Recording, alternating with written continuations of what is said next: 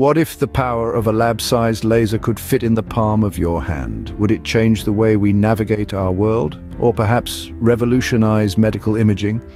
Let's ponder for a moment. In the realm of technology, the concept of miniaturization plays a, a, pivotal role. It's a journey of making things smaller, more compact, but at the same time more powerful. Now imagine the vast world of laser technology. We've been bound by large lab-based laser systems that, though mighty, have their limitations. They're not exactly portable, are they? They're not something you can slip into your pocket and carry around. And accessibility, well, that's another hurdle entirely. But what if we could overcome these barriers? What if we could harness the power of these lasers in a form that's compact and efficient?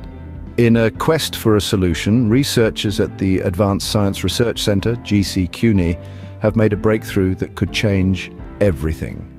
Imagine having the power of an ultra-fast mode lock laser in a device no bigger than your fingertip. Picture this.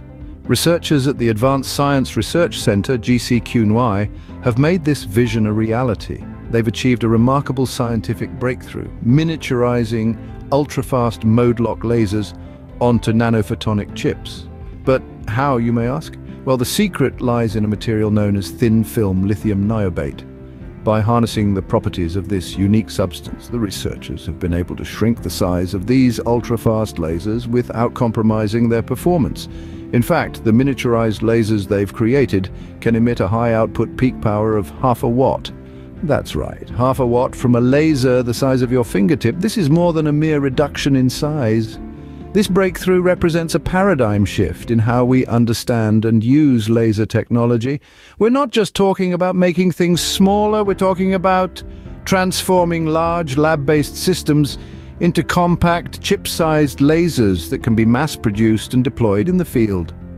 From precision navigation to medical imaging, from food safety inspection to portable technology, the potential applications of these miniaturized lasers are vast and varied. We are on the brink of a revolution in ultra-fast photonics and it all starts with a laser the size of your fingertip. This isn't just a scientific feat, it's a leap towards a new era of compact and efficient lasers. So, what does this all mean for the future of technology? Well, the miniaturization of ultra-fast lasers opens up a world of exciting possibilities. Imagine having pocket-sized devices equipped with these lasers, making precision navigation a breeze. No more getting lost in unfamiliar cities or complex buildings.